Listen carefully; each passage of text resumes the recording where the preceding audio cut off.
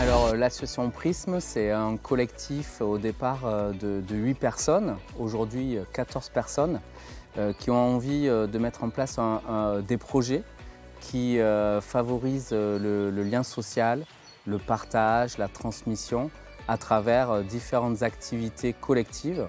Euh, ça peut être euh, un atelier cuisine, un atelier euh, décoration, un atelier informatique, euh, des projets culturels, etc. Donc euh, c'est de transmettre certaines valeurs de vivre ensemble, de bienveillance, d'être à l'écoute les uns et les autres, de pouvoir identifier des besoins, trouver des, solutions ou juste partager un moment euh, de plaisir autour d'une activité. Euh, ça peut être de la poterie, euh, du théâtre, de la musique, de l'informatique.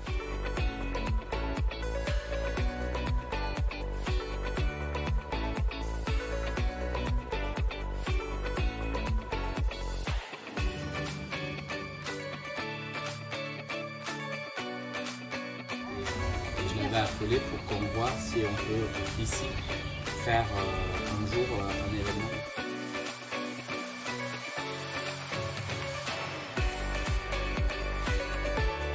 Dimanche, de midi à 20h, nous organisons ici, à la Maison des Acacias, dans le jardin, dans les espaces, un événement qui s'appelle Un dimanche de mai à vélo. Mais on peut venir sans vélo. On peut venir à pied, en trottinette, éventuellement en voiture.